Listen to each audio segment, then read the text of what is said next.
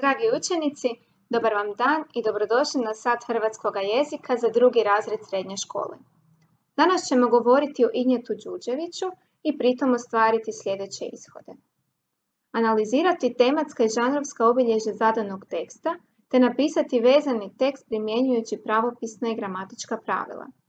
Navesti obilježja razdoblja u kojemu je nastao opus Injeta Đuđevića, te pritom koristiti olovku i bilježnicu, te računalo, tablet ili pametni telefon s pristupom internetu.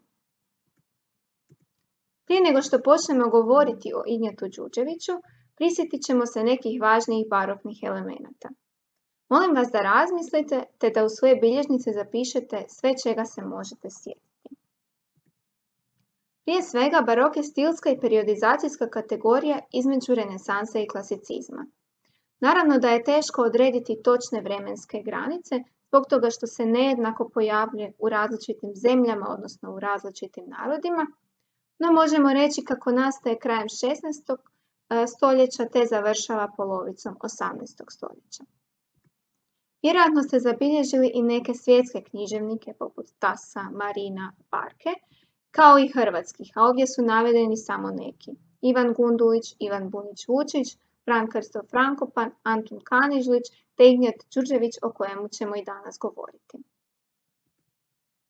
U tom su razdoblju najvažnije mjesto zauzeli lirika, ep, poema i melodrama, a književni je stil obilježen uporabom metafora, antiteza, paradoksa, oksimorona i drugih figura, te se taj stil naziva končetoznim i nastaje po uzoru na Mariniste i Gongoriste. Na stvaranje književnog dijela utječu i povijesne okolnosti, odnosno mletačka i turska osvajanja, kao i jačanje crkvenog utjecaja, a književnost se razvija u četiri književna druga. To su prije svega Dubrovačko-dalmatinski književni krug koji je i dalje najjači, zatim slijede Kajkavski, Slavonski te Ozaljski književni krug. Ne treba zaboraviti ni interese za stvaranjem e, književnog jezika, te Bartola Kašića koji 1604. godine, dakle početkom 17. stoljeća, piše i prvu gramatiku hrvatskog jezika. Dakle, naveli smo kako je Ignje Đurđević stvarao u razdoblju baroka, a ujedno se smatra i posljednjim velikim dubrovačkim baroknim pjesnikom. Rođen je 1675. godine u Dubrovniku, a umro 1737. Te književna dijela stvara krajem 17. i početkom 18. stoljeća. On potječe iz Dubrovačke plemičke obitelji, a osim što je bio pjesnik, poznat je i kao redovnik i povjesničar. Svoje obrazovanje je završio u Isusovačkoj školi u Dubrovniku, te je kasnije stupio u Isusovački red, a nedugo nakon toga i u Benediktinski red. Iako je 1710. godine zbog nesuglasica s Dubrovačkom vladom prognan iz Dubrovnika, vraća se nakon dvije godine te postaje opat i benediktinskog samostana na Mljetu. Spomenuli smo kako Đuđević potječe iz plemičke obitelji, a ona je nakon potresa u Dubrovniku primljena u Dubrovačku vlastelu. Potres u Dubrovniku tragičan je događaj koji je pogodio sam Dubrovnik 6. travnja 1667. godine.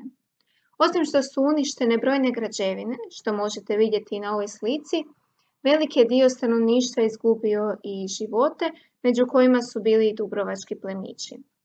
Kako je Dubrovnik u to vrijeme bio republika, Osnovano je vijeće dvanaestorice kako bi obnovili grad nakon potresa te spriječili prodor turske i mletačke vojske. Znate li kada je ukinuta Dubrovačka republika?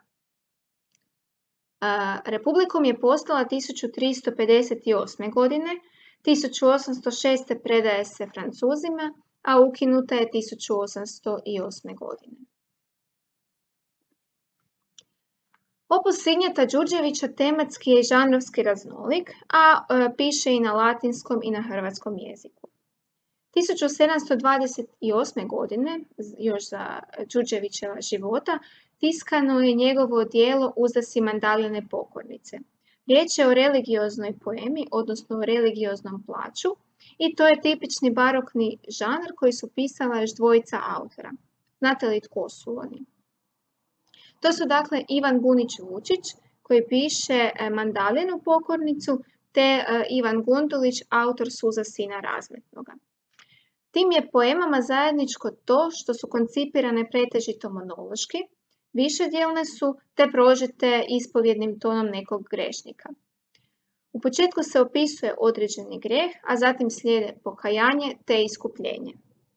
Ne treba zaboraviti kako su u baroku česte religiozne teme zbog utjecaja crkve, crkvene vlasti, a teme ovih poema preuzete su iz Biblije te ocrtavaju čovjeka koji se nakon grijeha e, kaje, odnosno vraća se Bogu, a Bog je milosrdan te mu oprašta sve grijehe. Uzdahe mandaljane pokornice čini osam uzdisanja, te se prikazuje pustinjački život Svete Magdalene, njezino sjećanje na mladenačke grijehe, pokajanje te e, blaženu smrt. U ranoj mladosti napisao i dio lirskih pjesama na hrvatskom jeziku pod nazivom Razlike pjesni duhovne i djeloispravne, koje je pridružio uzdasima mandaline pokornice. Inače, prva je verzija uzdaha e, napisana u dva uzdisanja, a tek je kasnije preradio u osam. E, isto tako, Đuđević je autor i rukopisne zbirke pjesni razlike u kojoj se nalaze brojne ljubavne, nabožne, idilske i dulje pripovjedne pjesme, kao i prijevodi basni, folklorne pjesme i mnoge druge. Ljubavne pjesme čine pjesni ljubene s prepoznatljivim elementima marinističkih i e, buničevih stihova, dok su religiozne pjesme djelomično prepjevi latinskih crkvenih pjesama, a djelomično biblijske prerade. Piše i ekloge, odnosno devet ekloga čija je radnja smještena u idilični pastoralni krajolik, dakle to su livate, gajevi, potoci i slično, te pripovjedne pjesme razlike zgode nesrećne ljubavi po uzoru na Dekameron. Spomenuli smo i prijevode basni kojima se udaljava od e, razdoblja baroka te najavljuje klasicistički interes za basnu.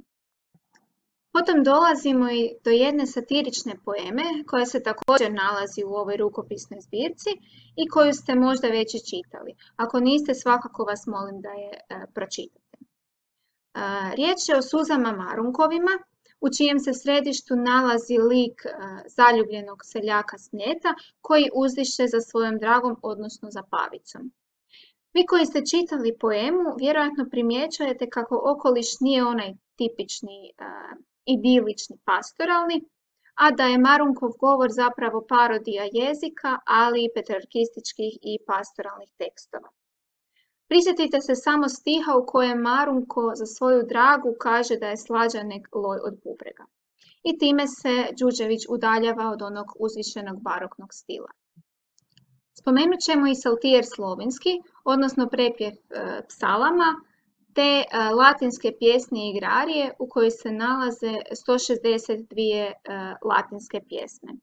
Većina ih je religiozne tematike, iako ima i ljubavnih, ima metamorfoza koje piše po uzoru na Ovidija, te satiričkih epigrama i prigodnica.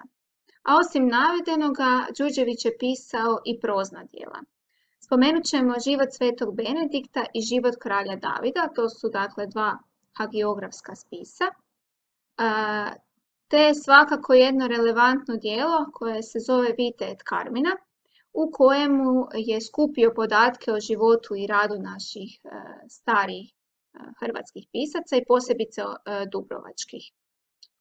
Sumiramo li sve ovo što smo do sad naveli, zaključujemo kako je Đuđević svojim opusom obogatio književnost Dubrovačko-dalmatinskog književnog kruga kako na latinskom, tako i na hrvatskom jeziku. Molim vas da u svoje bilježnice e, zabilježite da Đuđević pripada Dubrovačko-dalmatinskom književnom krugu, da potječe iz Dubrovačke plemičke obitelji, koja nakon potresa u Dubrovniku ulazi u Plastelu, a potres u Dubrovniku bio je 1667. godine. Zatim da Đurđević piše krajem 17. i početkom 18. stoljeća i to različita tematska i žanrovska dijela. Od tih su nam dijela vrlo važni religiozni plaćevi, odnosno religiozne poeme, to je dijelo Uzdasi mandaline pokornice, te satirična poema Suze Marunkove koje ste morali pročitati. I evo za kraj, pred vama se nalaze stihovi iz uzdaha mandaline pokornice, točnije stihovi iz prvog uzdisanja. Vaš je zadatak pročitati e, ove stihove, odrediti o čemu se radi i svakako obratiti pozornost na stih te na barokne elemente. O baroknim obilježjima govorili smo na početku i naveli smo neke važnije figure, pa vas molim da te figure i pronađete. Isto tako zabilježite mjesto na kojemu se mandalina nalazi, te odredite u kakvom je položaju ona sad i u kakvom je položaju bila, odnosno kakav je njezin prijašnji život. Sve to možete e, iščitati iz ovih stihova. Na temelju tih zapažanja, odnosno bilješka koje e, zapišete, napišite kraći tekst tako da provježbate malo pisanje, a samim time i pravopis i gramatiku, a to vam je ujedno i odlična vježba za, koja će vam dobro doći za pisanje eseja na državnoj maturi. Eto, sve vas srdačno pozdravljam, molim vas da i dalje učite i da čuvate svoje zdravlje.